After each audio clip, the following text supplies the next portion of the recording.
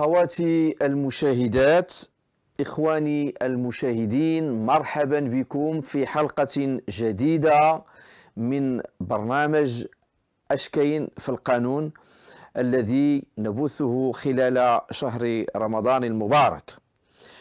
فيما يتعلق بالأسئلة الكتابية هناك سؤال لامرأة تقول أنا امرأة اضطررت أن أطلب الطلاق للشقاق إلا أن المحكمة لا تعطي للمرأة متعتها وتحرمها في حين أن مدونة الأسرة تنص على المتعة كما ينص عليه القرآن آه، الكريم.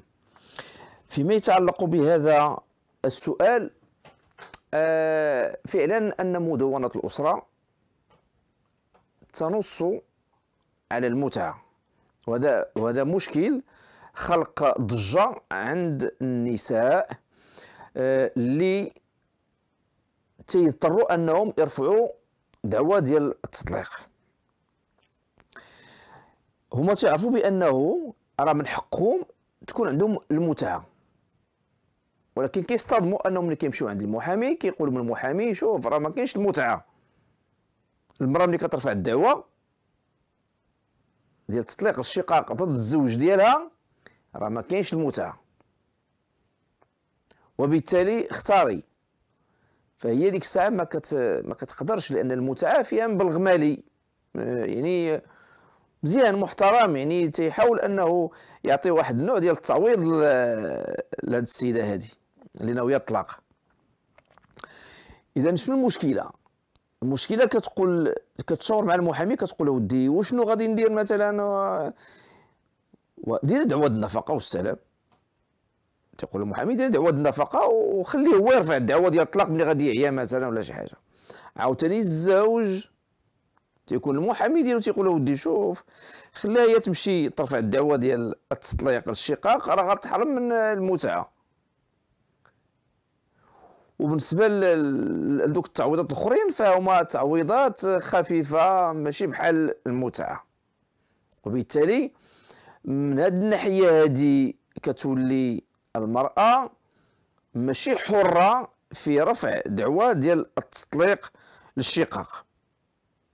وكتبقى تخلي العلاقة الزوجية قائمة وكتبقى المشاكل قائمة بانها كتفاقم والحياة يعني كتولي آه، فيها فيها مشاكل كثيرة وكتعمق وكتشعب.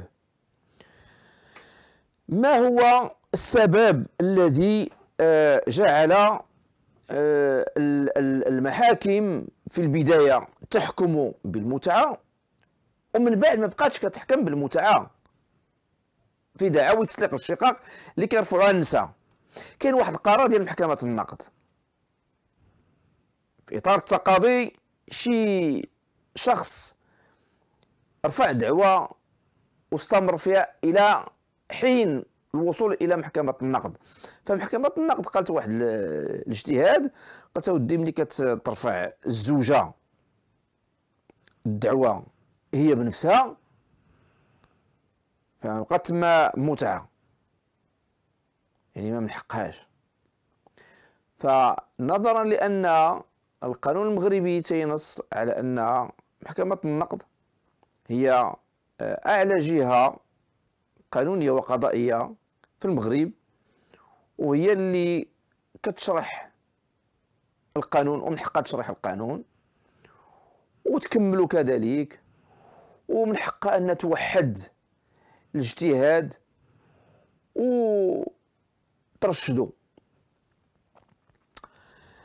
آه طبعا طبعا آه هنايا كاين اش كيقول القانون. أنا بالنسبة ليا القانون تيقول شي حاجة بوحديتها واجتهاد ديال محكمة النقد كيقول شي حاجة بوحديتها.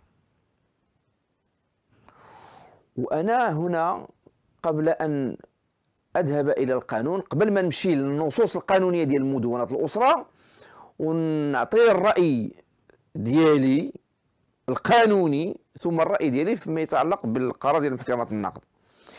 في في عيد العرش ديال 2022 ففي الخطاب الملكي ديال 2022 في الفقرة الأولى ديالو هضر جلالة الملك بوصفه أمير المؤمنين وانتقد تطبيق المدونة وانتقدها وانتقدها بشدة وقال بأن هناك العديد من الاختلالات والاختلالات عندها الأسباب ديالها.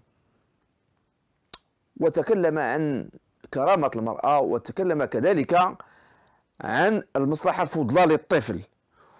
وكان الخطاب آه، الملكي أو أنا غادي نقول خطاب إمارة المؤمنين الذي يتفوق على خطاب الملك وخطاب رئيس دولة. أنا أنا هنا خطاب ديال إمارة المؤمنين أو موقف لإمارة المؤمنين.